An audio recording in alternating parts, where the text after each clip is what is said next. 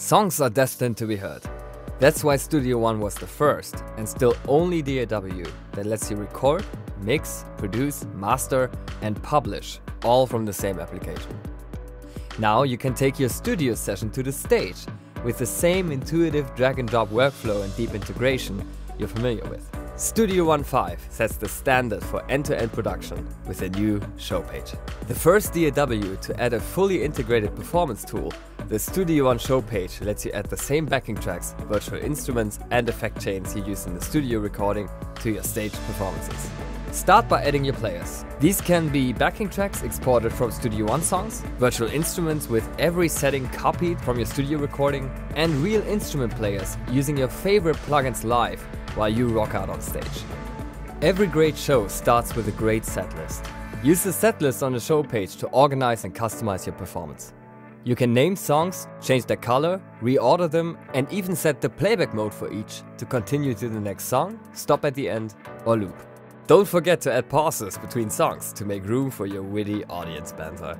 Or cut them if the show started late. Entire songs can be easily added or removed for those inevitable last minute changes. The Studio One show page is the only application that lets you easily lay out and change an entire setlist with complex setups for each song in minutes. Once you have your virtual bandmates and the setlist structured, you have to give your Studio One bandmate something to play, and that's where patches come in.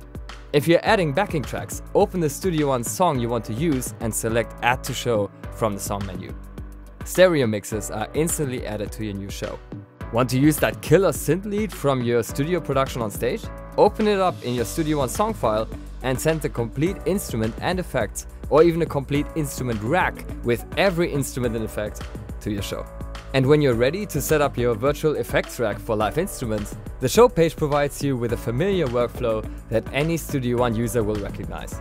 Just drag and drop your favorite plugin presets from the browser. Presets are converted to patches that can be fine-tuned, updated, even reassigned as you dial in your live sound. Most performances are not set it and forget it. The Studio One show page gives you an easy-to-use control set for instant access to up to 24 parameters using knobs, buttons or faders.